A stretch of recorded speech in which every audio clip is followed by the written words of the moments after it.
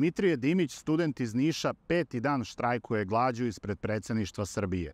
Južne vesti su u poseti Dimitriju, sada je petak pola četiri popodne, snimamo 15 minuta sa Dimitrijem. Zdravo Dimitrije. Zdravo, dobar dan. Dobar dan. Dobro mi došli. Hvala, e, dobrodošao ti nama u emisiju. E, kako si Dimitrije? A, dobro je, izmoren, ali moral je na, na visokom nivou. Da li uh, se osjećaš bolje ili gore u odnosu na juče? Gore. Meni je naglo povilo sinoć i onda nisam lepo baš spavao, nisam se uopšte odmorio i onda a, pa ništa, teško mi pada ovo sunce, mislim mi smo u hladovini sve to, ali teško je, teško je baš, vrućina je teška. Ljudi su bili zabrinuti, sinoć ti je ponovo pozilo, hitna pomoć je bila. Da, da, da. Šta se desilo? Da, proverili su me lekari, uh, sve u redu, regularan je pritisak, EKG je regularan, uh, sve ok, fizički samo, uh, izmoren samo, to je. Dobro, ti si se odlučio za ovaj radikalni čin, a, da li si ti e, mlada usijana glava, egzibicionista ili poslednji normalan čovek u ovoj zemlji? Rekao, očajnik. Očajnik. Jedan očajnik. Jedan očajnički potez. Krik. Krik za, za spas, za nadu. Krik za spas društva. Kako ti opisuješ taj, taj, taj motiv? Pa, ja sam, moj najveći motivator u životu je ljubav. I ovo radim iz ljubavi prema Srbiji. A, mislim da režim propagira nasilje preko medija i preko tabloida i da to nasilje i ta mržnja ubijaju, ubijaju Srbiju. I da je to tako već deset godina. A ovo je konkretno od pre dva meseca. Rane nisu za, zaceljene od, od dva velika masakra. E, da li su a, zahtevi protesta toliko važni da ste morali da se odlučite za, za ovakav korak? Da, apsolutno. Šta je najvažnije ono što Zbog čega ste odlučili da... Stop nasilju. Stop propagiranju nasilja na medijima. Stop... E, to nije samo fizičko nasilje. To je nasilje nad zdravim razumom, nad pristojnošću, nad dostojanstvom, nad uh, dobrim ljudima. Svi... Srbija cela trpi to. Trpi godinama. I svi samo okreću glavu na stranu i ćute i trpe i ćute i trpe i tako je. To ubija našu zemlju. Ja. Inače, evo sad nam je stigo Simo Spasić. Uh, da, da. Tu nam je gospodin Simo Spasić u da. benzini. Da. Uh, kažite mi, šta ste sve doživjeli ovih pet dana od onoga što se zove neprijatnost? Pa mogu bi da kažem da je u ponedeljak bilo najviše neprijatnosti, uh, dolazili su inspektori, hteli su da me hapse, bile su pretnje da će mi staviti pištolj u šator, da nikako ne smem da spavam ovde, da će mi staviti, uh, da će mi podmetnuti drogu šator. Pa je u ponedeljak uveče oko 11 sati bili su tu neki momci, ovo ono, opasni, opasni i morao sam da se pomerim i sve to, ali od tada uh, nema pretnji, mene štiti policija. Dobri ljudi u policiji, JRM, javni red i mir i tako. Inače, ufodi me bija gde god da idem, moj prijatelj je isto i to je razumno, jeste, naravno, ja radim ovo što radim, ali mislim da nije u redu da, da prate jednog studenta. Da li ti je Iko rekao ko su ti ljudi koji su a, ti izazvali te neprijatnosti, odnosno pratili, pretili i tako? Konkretno ja znam tačno koji su ti ljudi, ali bolje da ostane to znamo svi koji su ti ljudi. To su crni kačketi, crne majice, crne bermude, crne patike. Znamo. Dobro, e, pretpostavljam da si to sve rekao policiji i na koje sumnjaš. Naravno, naravno, naravno. Zabeleženo. Odmah sutra dan sam ja to prijavio ovim dobrim inspektorima javnog reda i mjera. Oni su rekli nemoj ništa brineš, dali su mi čak lične brojeve telefona. Išta, išta, ako posumnjaš, zovi odmah, tu smo. Ono. Ima mnogo dobrih ljudi i to sam ovih proteklih nekoliko dana nisam bio ni svestan koliko dobrih ljudi ima, koji su samo došli mi daju podršku. Ja sam, ja ovdje ležim već od ponedeljka, hiljadu ljudi je došlo. I opozicija, i vlast, i, i obični građani, i dobri ljudi su došli da me podrže, stvarno. Šta ti kažu ti ljudi kad dođe? Pa, uglavnom svrstavaju se na dva tabora. Jedni su ono, svaka ti čast, u stvari uglavnom svi kažu svaka ti čast, brate, care, ovo, ono. A, ima ljudi koji mi kažu da, da se ubijam, da štetim svome zdravlju i sve to. Ja to ne gledam tako. Ovo je jedan vid borbe. Ja u ovoj borbi pronalazim sreću i nadu za bolje sutra. A zabrinutost ljudi je normalna stvar. Ljudi brinu za mene i to mi je drago izuzetno, ali nema, nema mesta histeriji u svemu ove. Mnogi ljudi su histerični i bilo je i toga. Bilo je pritiska na mene da odustanem od početka, još u ponedeljak, da odustanem od tog štrajka glađu. Ja od ponedjeljka nisam jeo, niti, ću, niti planiram dok ne ispuni zahteve, naravno. Ne može to niko da me ubedi. Sam odlučio. I tako sam govorio u Nišu na protestu 7. jula, još sam tako je, tako je, sam to rekao i, i da. Popi vode. Da, ovo je voda sa vitaminima, pijem naravno regularno.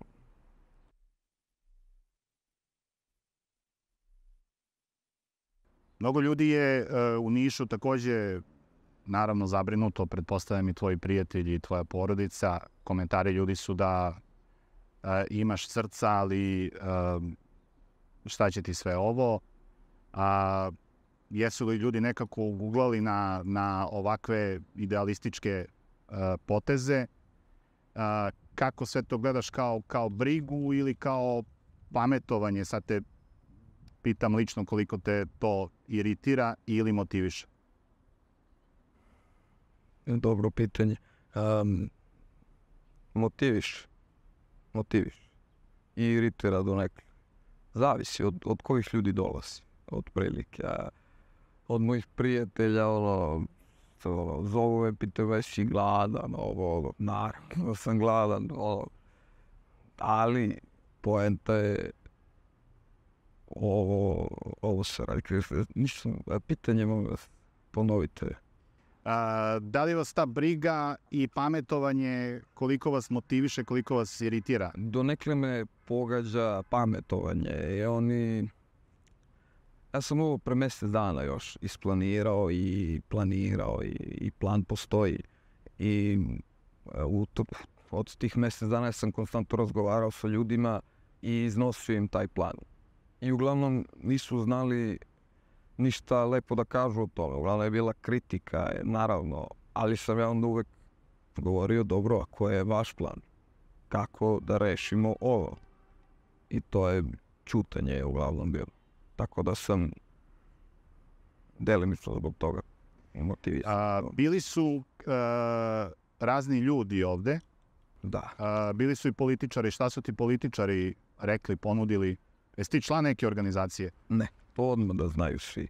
Niti sam deo političkih partija, niti jedne stranke, niti organizacije. A, simpatizer sam ekološke straže, ne bacam đubre nikada napolje, po travi nikada, nikada, stavim u džep i onda do kante prve. A, ali ne, nisam deo ni jedne političke organizacije, deo sam već studentarije i građanstvo. Više građanstva nego studentarije. Jer građani su oni koji su me podržali, studenti me nisu podržali.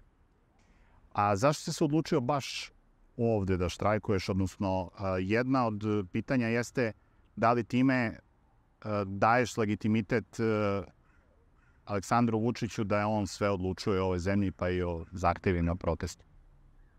A, mislim, ja hteo ne hteo... Ili je to jednostavno realnost, da? Legitimitet, ja, to je real. Gospodin Vučić kontroliše Narodnu skupštinu, vladu i predsedništvo, nacionalnu frekvenciju, kontroliše celu zemlju po ustavu i po zakonu. Naravno, on, on se obhodi prema tome ustavu kao parčetu papira, a ne kao svetinji. I um, to je strašno da je to predsednik vlade, predsednika republike, oslovljava sa šefe. Strašno. Po ustavu je to nonsens. I tako, da, mislim, realno je, svi znamo ko vlada. Znamo ko je vladar, znamo ko se pita o svemu, ko zna sve i ko sve, sve radi. Naravno. Si peti dan ovde, da li si imao ikakav kontakt sa, sa predsedništvom? A, da, ovde sam od ponedeljka, u utorak sam podneo molbu, zvanično sam podneo molbu u sekretarijat predsedništva i od tada nis, nije se niko javio. Dobro. Da, a, očekuješ da ćete predsednik primiti, pozvati, je li bilo takvih indicija? Dobio sam ja neke nezvanične informacije da će on da siđe u park da popriča sa mnom i tako to. A, si nemojte pogrešno ove shvatite. Voleo bih ja eto, da popričam s njim već, da vidim kakva je osoba, je uživo, da ga pogledam u oči i sve to kao čoveka ali ja želim da on prihvati zahteve i da ih ispuni i da cela ova agonija prestane, ovih dva meseca bola. Da li postoji ikakva mogućnost, svestan si da, da su zahtevi takođe, um, um, tako da kažem, i konkretni, ali i široki i jaki, a, postoji li mogućnost da a, se nađe neki kompromis? Šta je onaj minimum da ti prestaneš sa štrajkom glađu? Da li postoji neki minimum da to nije ispunjenje zahteva, izlaz iz ove situacije u kojoj si se našao? Pa, na primjer, e, ukidanje nacionalne, frefek... E, ukidanje nacionalne frekvencije televizijama Pink i Happy i smena rukovodstva REMA. Da, da li, uh, nisam siguran da, da, da će na to pristati, a cena je velika ako nastaviš sa štrajkom glađu. Naravno, naravno. Ja sam ovde da stvorim pritisak. Naravno, mi šetamo već dva meseca. Ja sam učestvovao ovde na protestima i 19. maja i u, op, u, op, u opsadi RTS-a i, i u Nišu, naravno, 7. jula sam držao govor u Nišu um, to njega ne dotiče. Dotiče ga ovo, što je student tu i što štrajkuje glađu. To ga dotiče. A, nosiš uh, cveće u, u uh, Luda. Da. Ka, uh, kaži šta si planirao sutra sa, sa tim cvećem. Mislim, sada... Um, um, pozivam sve dobre ljude da sutra ponesu po jedan cvet i da ga postave ovde ispred predsedništva spomeniku Nadi, Nadi Petrović, Nadeždi Petrović. Ja ću sada ovo cveće staviti tamo i pozvaću sve ljude preko mreža da, da sutra donesu po jedan cvet i da Nada, da stavimo jedan cvet pred Nadu. Dobro, i u Nišu ima Nadežda Petrović, nadam se da... Uh, Pozivam sve, mo, sve moje nišlije da a, na, na, na, da večeras stave jedan cvet Nadeždi Petrović. Da li tražiš od e, ostalih ljudi, političara, bilo koga da ti se pridruže? Šta očekuješ uopšte od, od svih ostalih? Uh, šta očekuješ od, od medija? Od... Političari su mi ovde dolazili, uglavnom su govorili reči brige, nege, da vam ne pričam sad, neki su bili na ivici suza kad su razgovarali sa mnom. Bilo je to nekih teških razgovora, naravno, ali ja sam njima, forsiram ih na jedno bezuslovno ujedinjenje. opozicijone političare. Sve ih forsiram da se ujedine u jedan narodni front i da tako ujedinjeni lakše ćemo sve ovo iznesti i kao građani i kao, i kao sve, sve, sve. A, ti znaš da, da je bilo raznih uh, štrajkova glađu u, u, političkoj istoriji. Neki od njih su bili uh, uspešni, neki neuspešni. A najskoriji su bili, ne znam, Tomislav Nikolić pre 10 12 godina Boško Obradović, čak, čak su i neki SNS-ovci krenuli u štrajk glađu kao kontra štrajk glađu. Nekako je sve to besmišljeno, ti nekako vraćaš taj radikalni politički čin u, u praksu i čuvar, čuvar vatre. U ovaj, da ne kažem u modu. A, ti si obećao da će štrajkovati glađu na tom protestu u Nišu i održao si obećanje. A, ja e, te neću a, e, ni ubeđivati ni na jednu ni na drugu stranu. Ja bih želao samo jedno obećanje a, e, da daš meni Južnim vestima, a to je da se vidimo u studiju Južnih vesti u Nišu kao zdravi prav. Naravno, naravno, naravno, naravno, vrlo rado, vrlo rado. Dobro. Ja sam inače ovako, Južne vesti su bastion slobode dobro. Dobro, to, to znači da ćeš ipak sačuvati nekako zdravlje. Naravno, naravno, mogu to da naglasim svim mojim dragim ništijama i svim mojim južnjacima i celoj Srbiji koja gleda. Ja nisam suicidan, nisam manijak, nisam pijanica, narkoman, šta god. Ja sam čovek, građanin i student koji ovde sa ciljem da se ispuni zahtevi Srbije protiv nasilja i u tom cilju ja radim ovo. Samo zbog toga. To je moj cilj i toliko, toliko, toliko. Dobro, Dimitrije, vidimo se, vidimo se u Nišu sledećem prilikom. Hvala vam puno. Bilo je ovo 15 minuta ispred predsedništva Srbije. Naš gost je bio Dimitrije Dimić.